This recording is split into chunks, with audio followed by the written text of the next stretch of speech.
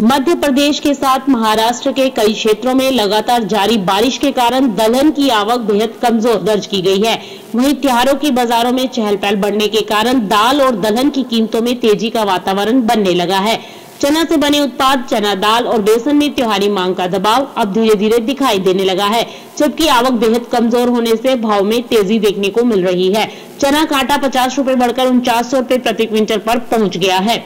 व्यापारियों का मानना है कि मौसम खुलने पर चने में ज़्यादा तेज़ी के आसार कम हैं, लेकिन एक बार चना पाँच हज़ार रूपए प्रति क्विंटल का घर देख सकता है। इसके चलते चना दाल में भी करीब सौ रूपए की तेज़ी देखने को मिली है।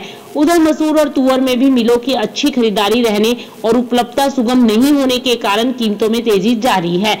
मसूर पचास रूपए बढ़कर तिरसठ सौ रूपए तो तुअर महाराष्ट्र सफ़ेद सौ रूपए बढ़कर पिछहत्तर सौ से सत्तर सौ रूपए के आसपास पहुँच गई है, जबकि कर्नाटक सत्तर सौ से सात हज़ार नौ सौ रूपए के आसपास देखने को मिल रही है। इसके समर्थन में तुअर दाल दो सौ रूपए तो मसूर दाल दो सौ और मूंग दाल सौ रूपए बढ़ती हुई दिखाई दी है।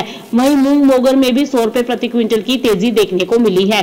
उड़द भाव में कोई बहुत ज़्यादा उठापटक नहीं है। इस, ऐसे में माना जा रहा है कि अभी फ़िलहाल त्योहारी सीज़न के चलते दालों की कीमतों में तेज़ी बनती हुई दिखाई दे सकती है। Bureau report, market times TV.